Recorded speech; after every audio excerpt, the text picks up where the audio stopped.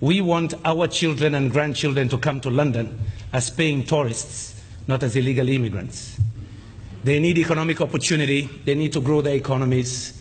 We need a world where you have inclusive economic growth and inclusive globalization.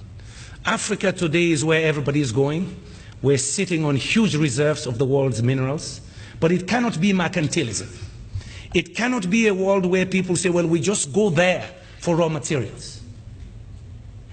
They need an opportunity to grow, and if people don't think it is serious, African population will be 1.3 billion by 2030, 2.2 billion by 2050, the most populous continent.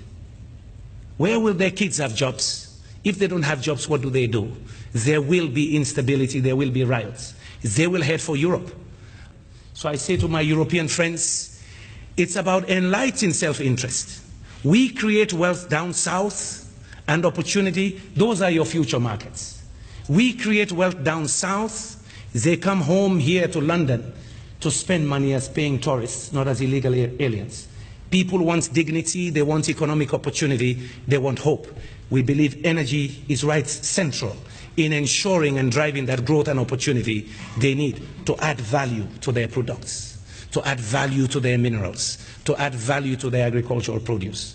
You need energy right in the center. It's not about charity. It's about enlightened self-interest. These are the numbers we're looking at. 2.2 billion by 2050.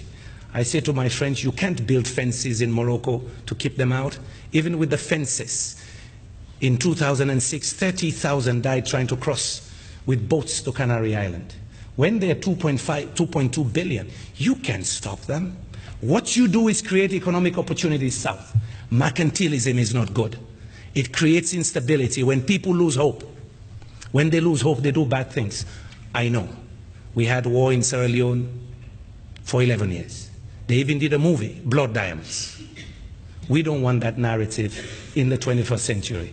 We want a narrative of opportunity, of prosperity, and inclusive growth. Thank you very much. NGC. NGC party go bring change. Uh, let me vote for NGC.